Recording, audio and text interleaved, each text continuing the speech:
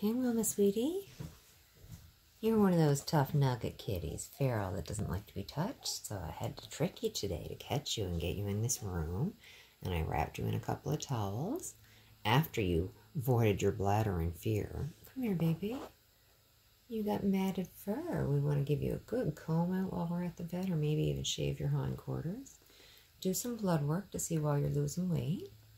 Hopefully, it won't be anything like thyroid or liver or kidneys or anything really. If we detect you've got diabetes, there's no way we can treat you.